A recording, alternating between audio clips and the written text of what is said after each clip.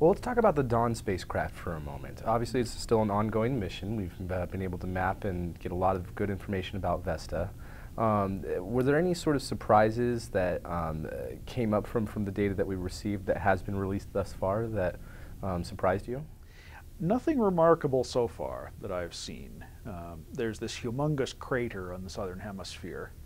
Um, and there have been hints of this from Hubble imaging, which gave very very small blurred, very, very small fuzzy images. It's just it's a small object and it's a long way away, uh, but hinted at some kind of irregularity. And there's long been some suspicion that uh, one particular small class of meteorites, which basically look like basalt, volcanic rock, uh, had come from Vesta because the spectrum matched very nicely um, with Vesta and with a few other small asteroids in much the same orbit as Vesta, which are thought to be chips off Vesta. Wow. And yeah, that's confirmed. Um, Vesta had considerable volcanic activity when it was young. Um, and that big crater is, is the perfect source for lots of debris coming off with that exactly that sort of material. Wow. Um, the one big disappointment, a real pity, an opportunity that got missed, um, the Dawn spacecraft had a near-death experience during development. It overran its budget. And its magnetometer got removed as part of the cutbacks to get it reinstated. Um, you know, they, they had to cut back some of the science payload and the magnetometer was the thing that in the end got the axe, which is a pity because there's reason to suspect that Vesta is at least a little bit magnetic. Um, there's been work done on the meteorites that are thought to be bits of Vesta. And Dawn had no way of measuring it, wow. no magnetometer. A, a, great pity. Absolutely. Um, I'm actually, if anything, more interested in what Dawn gets from Ceres than from Vesta. Um, that's Ceres is, is a very peculiar asteroid.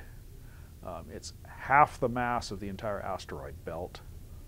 Um, it's got some very peculiar and contradictory results in its spectra.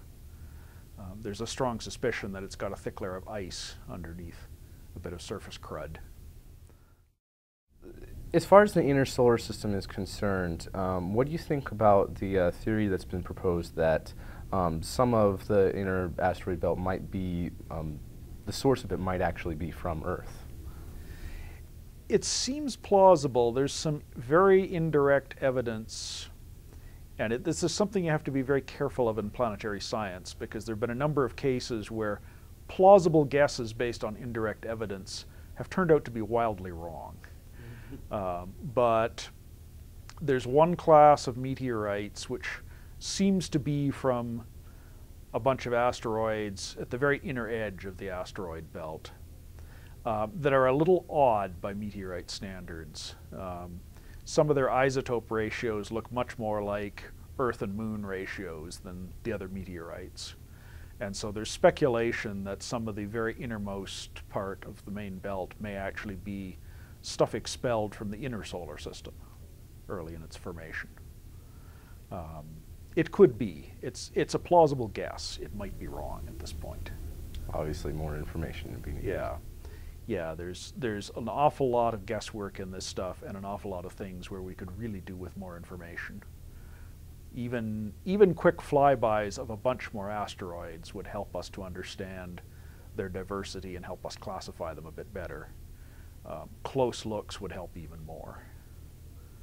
Um, even with relatively small spacecraft with very limited instruments, uh, you could get a lot uh, by putting a bunch of small orbiters around about a good selection of asteroids.